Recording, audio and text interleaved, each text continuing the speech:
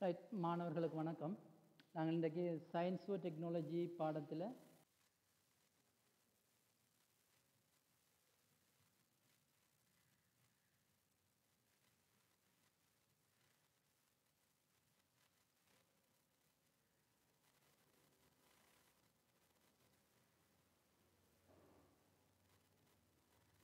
right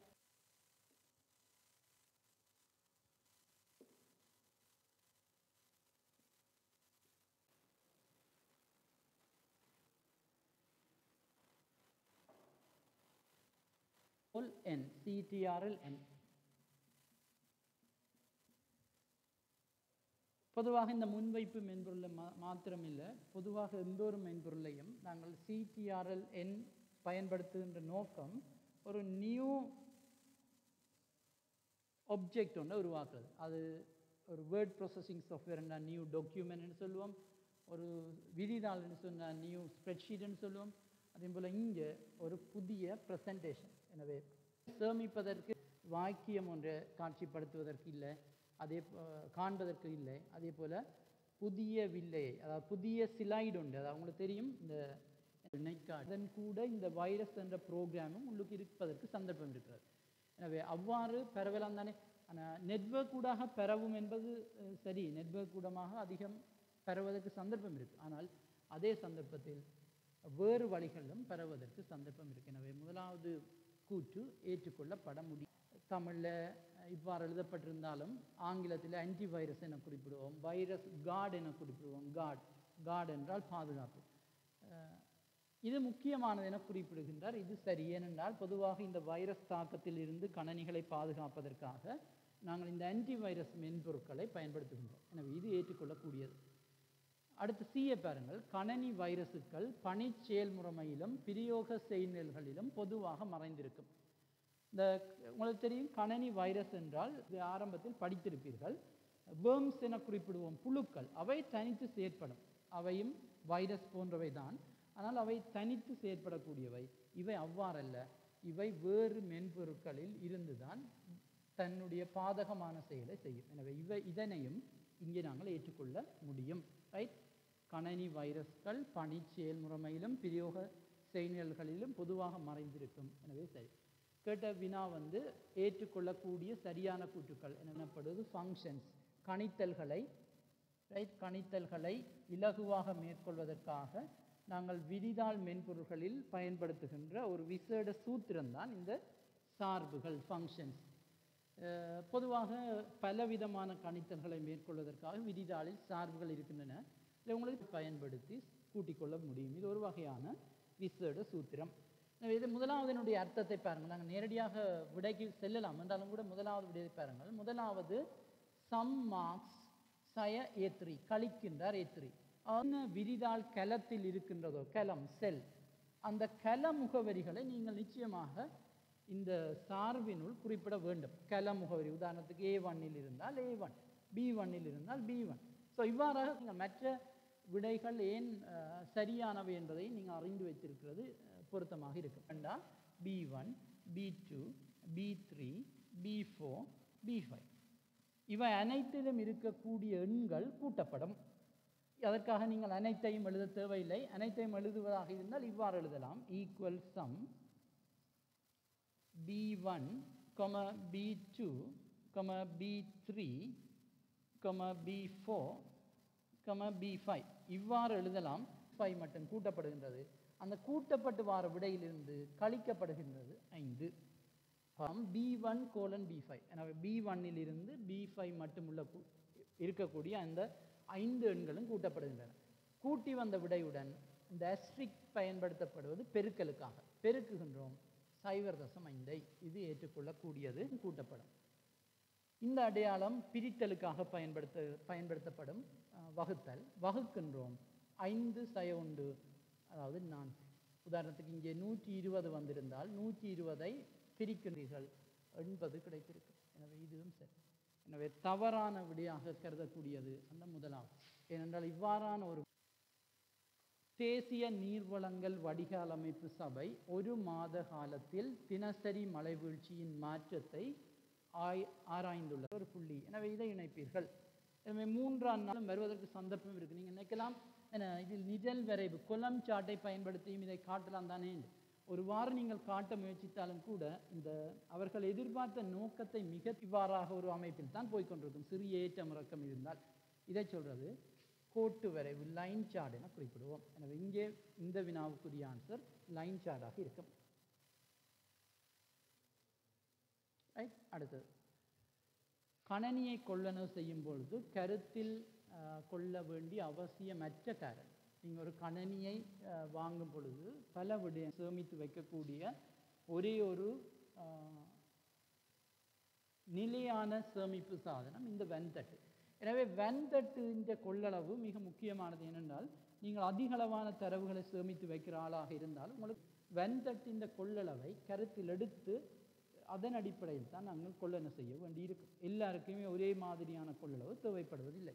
எனவே முதலாவது ஏற்றுக்கொள்ளக்கூடியது உங்களுக்குரிய வினா ஏற்றுக்கொள்ள தேவையில்லாத அவசியமிட்ட காரணி கேட்டிருக்கின்றார். எனவே முதலாவது இங்கே விடையாக வராது.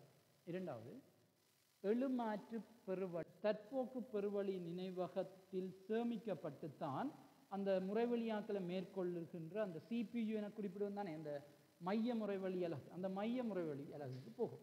அப்போ ரெம் வேண்டாம் ரெம்முக்கு போய் தேக்கி குறைக்கும். அல்ல பாதிக்கும். எனவே எழுமாற்று பெருவழி நினைவகத்தின் அமைய மாட்டார் மூன்றாவது முறை வழியாக்கியின் வகையும் வேகம். அதாவது நான் சொன்ன இந்த சிபியு எனப்படுவதைத்தான் இங்கே ப்ரொசஸர் எனவும் குறிப்பிடுவோம். தமிழில் முறை வழியாக்கி மையம் எல்லாம் இன்டெல் இப்போ நாங்கள் எல்லாருமே இன்டெல் சிபியூ விரும்புகின்றோம். இன்டெல் சிபியூலேயும் அங்கே வகை இருக்கின்றது. I three i five i seven அதே போல் வேகம். என்ன? நாங்கள் அதை three point zero Zika hertz இப்பொழுது நாங்கள் அதை ஜிகா ஹெர்ட்ஸில் அளவிடும். அல்ல three point one gigahertz என அளவிடு அளவிடுவோம்.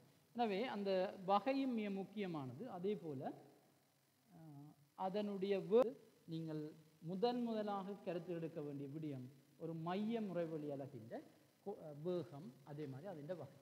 எனவே மூன்றும் முக்கியம். ஐந்தாவது ஒரு கல் பாருங்க. நான் நாலாவதுக்கு இறுதியாக வருகிறேன். யூஎஸ்பி வாயில்களின் எண்ணிக்கை. யூஎஸ்பி போர்ட்ஸ்ன்னு சொல்லுவோம். ஒவ்வொரு பயனருக்கும் வேறு வேறு நோக்கம் இருக்கலாம். சில வேளையில் நீங்கள் வேறு வேறு சாதனங்களை இணைப்பீங்கள் எனவே ஒரு கணனியில் எத்தனை யூஎஸ்பி போர்ட்ஸ் இருக்குன்றதை நீங்கள் நிச்சயமாக பார்த்து வாங்கணும். ஒரு சாதாரண மேசை கணனி என்றால் யூஎஸ்பி போர்ட்ஸ் பொதுவாக அதிகம் இருக்கும். ஆனால் ஒரு மடிக்கணனி லேப்டாப் கணனிகளில் யூஎஸ்பி போர்ட்ஸின் எண்ணிக்கை குறைவு. எடுத்துக்கொள்கின்றோம். ஆனால் இதை விட வினைத்திறனானது நேரடியாக யூஎஸ்பி போர்ட்ஸை பாவிக்கிறது. எனவே இந்த விடயமும் நீங்கள் கணனியை கொள்ளன செய்யும் பொழுது கருத்தில் எடுக்க வேண்டும். நாங்கள் சொன்ன முதல் சொன்ன மூன்று விடயத்தை விட இது கொஞ்சம் முதன்மையானது முதன்மை குறைந்தது. ரைட் இது ஆக முக்கியமானது இது அடுத்தது இது அடுத்தது தேவையில்லை ஏனென்றால் கணனி வேறு அச்சுப்பொறி வேறு. கணனியை கொள்ளனவு செய்யும் பொழுது நீங்கள் அச்சுப்பொறி அங்கே நீங்கள் கருத்தில் எடுப்பது இல்லைன்னு அச்சுப்பொறின்ற வகை வந்து அது தனியான ஒரு விடயம். எனவே இங்கே அச்சுப்பொறியின் வகை என்றதை நாங்கள் பொதுவாக இங்கே நாங்கள் இதில் எடுத்துக்கொள்ள வேண்டிய தேவை எனவே இது மெமரி ரைட் மெமரி சம்பந்தமான விடயங்கள். அதில் முதலாவது பாருங்க ஏ பாருங்கள் கணனியின் நினைவகமானது எழுமாற்று பெருவழி நினைவகம் வாசிப்பு மட்டும் நினைவகம் பதுக்கு நினைவகம் ஆகியவற்றை கொண்டுள்ளது. அதாவது நினைவகத்தில் அவர் சூண்டையும் நீங்கள் ஞாபகம் வச்சுக் கொள்ளுங்கள் இது சரி. ரெண்டாவது பதுக்கு நினைவகம் எழுமாற்று பெருவழி நினைவகம் ஆகியன அழிவுறா நினைவகங்கள் ஆகும். அதாவது இந்த பதுக்கு நினைவகம் ஹேஷ் மெமரியும் ரெம்மும் அழிவுறா அழிவுறாதன்னு சொன்னால் இங்கிலீஷில் நான் வொலட்டைல் மெமரி என்று சொல்கிறது விடப்படுகின்றது. அது தவறு. ஏனென்றால் ரெம்மில் இருக்கக்கூடிய தரவுகள் அதே போல் இந்த ஹேஷில் இருக்கக்கூடிய தரவுகள் இரண்டுமே கணனியை ஓஃப் பண்ணின உடனே அழிந்துவிடும். எனவே ஒரு ஒரு விடயத்தை நான் இதில் சொல்லி சொல்ல வேண்டும். ஒரு கணனியில் நீங்கள் பயன்படுத்தி கொள்ளக்கூடிய இந்த உங்களோட புக்கில் இதில் சொல்லப்பட்ட மாதிரி எழுமாற்று பெருவழி நிலவகம் ரேம் இதில் இருக்கக்கூடிய தரவுகள் மின்சாரம் துண்டிக்கப்பட்டவுடன் அழிவடைந்துவிடும். அதே போல் ஹேஷ் பதுக்கு நினைவகம் இங்கு சேமிக்கப்பட்டிருக்கிற தரவுகளும் கணனி நிறுத்தப்படும் பொழுது அழிக்கப்படும். யூக்கு இருக்கக்கூடிய ஒரு பகுதி சிபியூக்குள்ளே உங்களை படித்திருப்பீர்கள் மூன்று பகுதி இருக்குது அதில் ஒன்று நாங்கள் சொல்லுவோம் அரித்மெட்டிக் லொஜிக் யூனிட் எண்கணித தர்க்க அலகு ஏஎல்யூ ரெண்டாவது இன்னொன்று இருக்கும் கண்ட்ரோல் யூனிட் கட்டுப்பாட்டு அலகு. இந்த நினைவகம் இருக்குது தானே வாசிப்பு மட்டும் நினைவகம். ரொம்ப வந்து ஒரு அழிதகா நினைவகம். பென்ட்ரைவாக இருக்கலாம் சிடி டிவிடி எல்லாம். நீங்கள் யோசிச்சு பாருங்க ஒரு கணனியை நிறுத்தினாலும் ஹார்ட் டிஸ்கில் இருக்கிறது ஒரு நாளுமே அழியாது மூன்றாவது பிரோம் எனப்படுவது ப்ரோக்ராமபிள் ரீட் ஒன்லி மெமரி ஆகும். ரைட் பிரோம் எனப்படுவது ப்ரோக்ராமபிள் ரீட் ஒன்லி மெமரி ஆகும். அது சரி ஏற்றுக்கொள்ளக்கூடியது. நான் தேவையாக இருந்தால் ஒரு சிறிய விளக்குன்னு சொல்லுவேன். ரொம் ரீட் ஒன்லி மெமரி என்பது பொதுவாக அதுக்கே நாங்கள் மாற்றங்களை செய்ய முடியாது. ஆனால் அதுக்கு இருக்கிறத வாசிக்கலாம். அதனால் அதுக்கு பேர் வந்தது வாசிப்பு மட்டும் நினைவகம். அவற்றில் இருக்கக்கூடிய விடயங்களை நீங்கள் வாசித்து கொள்ளலாம். நீங்கள் அவற்றில் சேமிக்க முடியாது. இதுதான் அதனுடைய பொதுவான விளக்கம். ஆனால் ரொம்மில் வகைகள் இருக்கின்றன. அதில் ஒரு வகை பீரோம். பீரோம் எனப்படுவது ப்ரோக்ராமபிள் ரீட் ஒன்லி மெமரி அதனுடைய அர்த்தம் என்னென்னா இந்த ரீட் ஒன்லி மெமரிக்குள் நீங்கள் உங்களுக்கு தேவையான சில செய்நிழல்களை சேர்த்து கொள்ள முடியும். ப்ரோக்ராம் பண்ணலாம் என்றால் அதனுடைய அர்த்தம் அந்த மெமரிக்கு தேவையான சில விடயங்களை நீங்கள் அந்த மெமரிக்குள்ளே சேர்த்து அதாவது அதுக்குள்ளே சேமித்து அடுத்த விடயம் வரைய பயனர் இடைமுகம் கிராஃபிக்கல் யூசர் இன்டர்ஃபேஸ் இந்த விடயத்தை பார்த்து கொண்டிருக்கிறீர்கள் என்றால் என்னுடைய இந்த கற்பித்தலை பார்க்கிறீர்கள் என்றால் உங்களுடைய அந்த ஸ்மார்ட் ஃபோனையும் உங்களை இணைக்கக்கூடியது ஒரு மென்பொருள் ஒன்றின் ஒரு திரை போன்ற ஒரு அமைப்பு. அந்த அமைப்பை தான் நாங்கள் இன்டர்ஃபேஸ் இடைமுகம் என சொல்வோம். அந்த இடைமுகங்கள் பொதுவாக ரெண்டு வகைப்படும். நீங்கள் கேள்விப்பட்டிருப்பீர்கள் இடைமுகங்கள் பொதுவாக ரெண்டு வகைப்படும். ஒன்று கட்டளை கோட்டு இடைமுகம் சிஎல்ஐ என. இரண்டுமே என்ன செய்யும் என்றால் ஒரு பயனரையும் ஒரு இயந்திரத்தையும் ஒரு சாதனத்தையும் இணைக்கும். இப்போ இப்படி ஒரு கற்பனை செய்யுங்களேன். நீங்கள் ஒரு ஏடிஎம் இயந்திரத்துக்கு போகிறீர்கள் ரைட் ஏடிஎம் இயந்திரத்துக்கு போகிறீங்க நீங்கள் பயனர் இது ஜூசர் ஏ உங்களை கேட்கும் ஏன்னா உங்களை காட்டை உள்ளீடு செய்கன்னு கேட்கும். அதை உள்ளீடு செய்த உடனே உங்களுடைய இரகசிய இலக்கத்தை உள்ளீடு செய்க. எனவே அந்த திரையில் உங்களுக்கு திரையில் காட்சிப்படுத்தப்படுகின்ற அல்லது அந்த திரையாக வருகின்ற விடயங்கள் தான் அந்த இடைமுகம். யோசிச்சு பாருங்கள் அந்த இடைமுகம் இல்லை என்றால் உங்களால் அந்த ஏடிஎம் இயந்திரத்தில் எந்த ஒரு செயற்பாடையும் செய்ய முடியாது. அந்த கட்டளைகளை பயன்படுத்த வேண்டும். ஒவ்வொரு செயற்பாட்டுக்கும் ஒவ்வொரு கட்டளைகள் இருக்கின்றன. எனவே அதை நீங்கள் ஞாபகம் வைத்து செய்ய முடியாது. இப்பொழுது உங்களுடைய கணனியை எடுத்தால் கணனியை நிறுத்தும்படி சொன்னால் எவரும் நிறுத்த முடியும். என்றால் அதில் ஷட் டவுன் என்ற ஒரு பட்டன் இருக்கின்றது தன செயற்பாடுகளை மேற்கொள்வதற்கு ஆயிரக்கணக்கான கட்டளைகளை உங்களால் ஞாபகம் வைத்திருக்க முடியாது. எனவே இந்த சிஎல்ஐ இடைமுகம் பொதுவாக இப்பொழுது பயன்படுத்தப்படுவதில்லை. இந்த கிராஃபிக்கல் யூஸ் இன்டர்ஃபேஸ் அதாவது வரைய பயனர் இடைமுகம் இப்பொழுது பயன்படுத்துகின்ற நாங்கள் பயன்படுத்துகின்ற மென் இருக்கின்றன இதே போல் கணனி திரையில் இருக்கக்கூடிய அந்த ஐகான் அந்த விண்டோஸ் அந்த அது எல்லாமே அங்கே தான் இருக்கணும் எனவே நாங்கள் இப்பொழுது இந்த ஜிஜுஐயை பயன்படுத்துகின்றோம். ஏனென்றால் இது பயன்படுத்துவதற்கு இலகுவானது. எந்த ஒரு நபரும் கணனியை ஷட் டவுன் பண்ணலாம். எந்த ஒரு க- எந்த ஒரு நபரும் ஃபோனில் இருக்கின்ற முகத்திலே தான் இருக்கின்றன எனவே என்ன சொல்லுவோம்? விண்டோஸ் மை கம்ப்யூட்டரை ஓப்பன் பண்ணினா இல்லை கம்ப்யூட்டர் ஓப்பன் பண்ணினா அதில் வரக்கூடியது திரை. அந்த அந்த விண்டோ அந்த விண்டோவை தான் நாங்கள் இதில் உங்களுடைய கணனியில் மாத்திரம் இல்லை உங்களுடைய பட்டனை கிளிக் பண்ணிக்க வரக்கூடிய அந்த சின்ன திரு அந்த அந்த ஸ்க்ரீன் நீங்கள் ரைட் கிளிக் பண்ணவங்களுக்கு தெரியும் இதில் வரும் என்ன? ரீஃப்ரெஷ் கொப்பி பேஸ்ட் இப்படி ப்ராப்பர்ட்டிஸ் இப்படி வரும் தானே ஒரு சின்ன ஸ்க்ரீன் மாதிரி. அதுதான் மெனு அந்த மெனு மூலமாக மிக இலகுவில் கன விடயங்களை நீங்கள் செய்ய முடியும். இறுதியாக நீங்கள் மிக இலகுவில் விடயங்களை சுட்டி காட்ட முடியும். எனவே இதுவும் உங்களோட உங்களோட பணியை இலகுவாக்குது. எனவே இந்த நாலு விடயங்களும் உங்களுடைய கணினியில் இருக்கிறதால அல்லது உங்களுடைய இந்த கிராஃபிக்கல் யூஸ் இன்டர்ஃபேஸில் இருக்கிறதால செயற்பாடுகள் இலகுவாக மேற்கொள்ளப்படுகிறது. அதைத்தான் நாங்கள் விம்ப் என குறிப்பிடுகிறோம். ஜெபிக்குள்ளோம் எனவே உங்களுடைய ஆன் ஆன்சர் விண்டோஸ் முதலாவது தவறு இப்படி ஒன்று இல்லை. Windows okay icon okay menu okay pointer okay so இரண்டாவது விடை தான் இங்கே ஆன்சராக இருக்க போகுது. ரைட் இதில் எல்லாமே அந்த அடியில் வந்திருக்கு. அந்த எழுத்துக்கு கீழே வந்திருக்கு. இப்படி ஒன்று நாங்கள் செய்யணுமா இருந்தால் நான் நேரடியாக விடைக்கு வரேன். இப்படி வரணுமாக இருந்தார் உங்களுக்கு தெரியும். சப்ஸ்கிரிப்ட் எனப்படுவது கீழ்வரம் இப்போ உதாரணத்துக்கு பேரண்ட் எழுதினா பாருங்க இந்த டூ இந்த இடத்துல தான் இருந்திருக்கணும். ரைட் இவ்வளோ தான் இருந்திருக்கணும். இங்கே இல்லாமல் மேலே எல்லாம் இருக்குது? எக்ஸ் டூ அண்டு மேலே தானே இருக்குது அதால் அந்த நிலையை விட மேலே இருந்தால் சூப்பர்ஸ்கிரிப்ட் இப்போ வினாக்களில் பார்க்கலாம். எல்லாமே கீழே தான் இருக்குது எனவே இது சப்ஸ்கிரிப்ட் ரைட் கீழொட்டு என தமிழில் சொல்லுவோம். மேலே இருந்த சூப்பர்ஸ்கிரிப்ட் கீழே இருக்கமா இருந்த சப்ஸ்கிரிப்ட் அடுத்த வினா. வளமையான சொல்முறை வழியாக்க மென்பொருளில் எஃப் ஒன் சாவி பயன்படுத்தப்படுவது. இது பொதுவாக நீங்கள் என்னதான் மென்பொருளை செய்தாலும் என்னதான் மென்பொருளில் நீங்கள் பணியாற்றி கொண்டிருந்தாலும் எஃப் ஒன்னை நீங்கள் அழுத்தும் பொழுது உங்களுக்கு என்ன கிடைக்கும்? என்ன கிடைக்கும்? ஹெல்ப் கிடைக்கும். உதவி கிடைக்கும். இதை மறந்துடாதீங்க இப்போ புதிய கோப்பை திறக்கணுமா இருந்தால் நீங்கள் இந்த ஃபங்க்ஷன் கீ பயன்படுத்த அல்லது கண்ட்ரோல் ப்ளஸ் எஃப்பை கொடுத்துட்டு பிற கண்ட்ரோல் ப்ளஸ் ஏச்சு கொடுக்கலாம். அது இதுக்கு.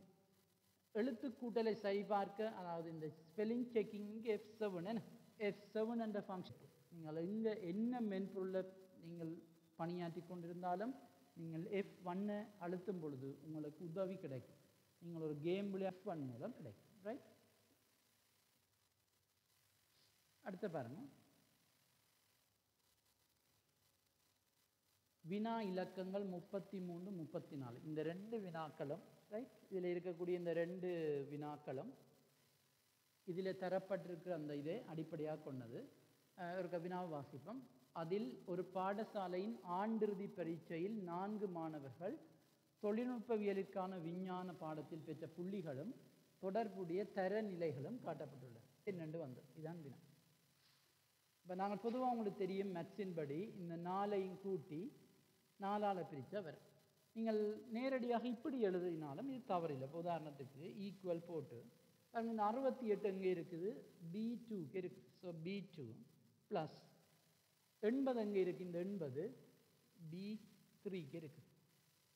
இந்த எழுபத்தி ஐந்து அங்கே இருக்குது ப்ளஸ் பி ஃபோருக்கு இருக்குது அறுபத்தைந்து அங்கே இருக்குது பி ப்ளஸ் பி ஃபைவுக்கு இருக்குது இவ்வளோத்தையும் கூட்டிட்டு நீங்கள் கொண்டு வந்து இந்த இதில் எழுதினா இந்த எழுபத்தி ரெண்டு இருக்கிற இந்த அது பி சிக்ஸுக்கு எழுதினா நிச்சயமாக ஆன்சர் கிடைக்கும். இந்த எழுபத்தி ரெண்டு உங்களுக்கு வந்திருக்கும். ஆனால் இங்கே அவர் எம்சிக்கு வந்தபடியாக இப்படி ஒன்றை பயன்படுத்தே இல்லை. செகண்ட் பார்ட் அப்படி ஏதாவது நீங்கள் வேறு பாடங்களில் வந்தால் நீங்கள் இப்படி எழுதலாம். எங்களுக்கு தேவை இதை வச்சு கொண்டு இதில் எது சரியண்டு விரிதாள் மென்பொருட்களில் சராசரியை பெறுறதுக்காக நாங்கள் பயன்படுத்துகின்ற சார்புக்கு பேர் ஈக்குவல் அவரேஜ்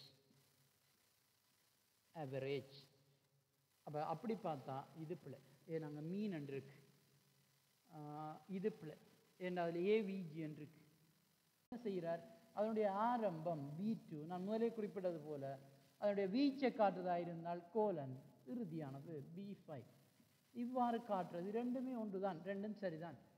சியில் உள்ள தரநிலையை பயன் பெறுவதற்கு பயன்படுத்த வேண்டிய செயற்பாட்டு குறி இந்த பி ஒரு என்ன ஒரு நிபந்தனையை கொடுத்து அந்த நிபந்தனைக்கு மேலே இருந்தால் இப்போ எழுபத்தஞ்சு அதுக்கு மேலே இருந்தால் ஏ அப்படி இல்லாட்டி பி இவ்வாறு ஒரு நிபந்தனையை கொடுத்து தான் இது காண்றது. இவ்வாறான நிபந்தனைகளை வழங்கி நாங்கள் இப்போ இப்படியான அவுட்புட்டை பெறுறதை நாங்கள் இஃப் என்ற ஒரு சார்பாடு தான் பாவிப்போம். இஃப் குறிப்பிட்டு தான் நான் அந்த சார்பு இதில் எழுதையில்லைன்னு சொன்னால் அது உங்களுக்கு பொதுவாக தேவைப்படாது. அந்த நீங்கள் ஞாபகம் வச்சுக்கொள்ளுங்கள் இஃப்பை வழங்கித்தான். அதற்குள்ளே நாங்கள் இந்த நிபந்தனையை வழங்கி அது ஏயா பியா சியான்னு கொடுப்போம் எனவே முப்பத்தி நாலுக்கு இந்த இடைமுகம் அந்த திரை வந்து வேறு வேறு வடிவங்களில் மாற்றி அமைக்கப்படலாம் இப்பொழுது கூட நீங்கள் இதில் பார்த்து கொண்டிருக்கிறது ஒரு எம்எஸ் பவர் பாயிண்டிൻ്റെ ஒரு திரையை தான் நீங்கள் எல்லாரும் பார்த்து கொண்டிருக்கிறீர்கள். அதனால் அந்த திரை என்ன ஒரு ஒரு ஃபுல் ஸ்க்ரீன் வடிவில் இருக்கிறதால அந்த திரையில் இருக்கக்கூடிய ஐகான்ஸோ அல்லது வேறு வேறு அந்த பாய்ட் ஷோ வியூன்னு சொல்கிறது இதே இந்த பவர் பாயிண்ட்டை நான் உருவாக்கிக்க இந்த எழுத்துக்களை டைப் பண்ணி இதை டிசைன் பண்ணிக்க நான் செய்த வியூக்கு பேர் நோமல் வியூ நீங்கள் பவர் நேரம் ஃபுல் ஸ்க்ரீனுக்கு வாரதுக்கு சில ஷோ வியூ இதுவும் சரி. வாசிப்பு வியூ அதாவது சரியானது. அதே மாதிரி இப்போ நீங்கள் ஒரு பவர் பாயிண்டில் ஒரு ஐம்பது ஸ்லைடை உருவாக்கிட்டீங்க ஐம்பது படவில்லையை உருவாக்கிட்டீங்கன்னா அந்த ஐம்பது படவிலேயே நீங்கள் ஸ்லைடும் ஒரே வியூவில் தெரியாது. அப்போ இதுக்கு மிக இலகுவான வியூ வந்து ஸ்லைட் ஷார்ட்ட வியூன்னு சொல்லுவோம். அதாவது பாட்டு முன்வைப்பு காட்சி ப்ரெசன்டேஷன் வியூ வந்து ஒன்று இல்லை. அங்கே சரியாக இருக்கு. ரைட் தானே? எனவே இந்த கேள்வியை அல்லது இந்த வினாக்கள் மாதிரியான வினாக்களை செய்து பாருங்கள். இன்னும் நாங்கள் இன்னும் இதுக்கு பாஸ் பேப்பரில் எத்தனையோ வினாக்கள் செய்ய இருக்குது இன்றைக்கு நேரம் முடிவடைந்து